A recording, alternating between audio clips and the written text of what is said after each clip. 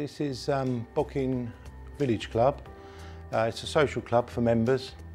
Um, it was formerly an old school and it was handed over to the club many, many years ago, along with the adjacent hall, which the club um, administer for uh, the Courtauld Trust. Uh, we found out about LoCASE programme um, when we were looking to update our old equipment for both heating and air conditioning. Um, it was all done via units on the walls, etc.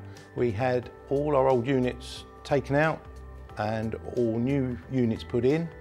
Uh, less units than we had before because obviously with the efficiency of them um, it was much better. Uh, we got a £10,000 grant uh, which obviously helped us very much. We would never have been able to do it without that. So any social clubs who obviously are run by members, for members, funding is very, very important.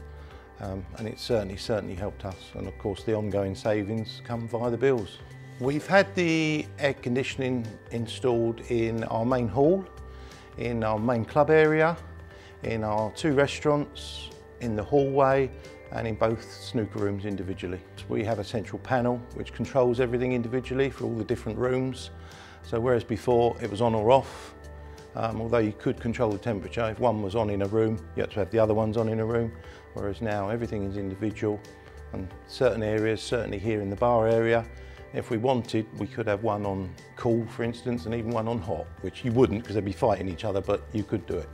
For us, the, application process was very, very easy because we had to submit certain paperwork, etc., which were all to hand, so that was it really. Um, we reckon the savings are around £4,000 a year.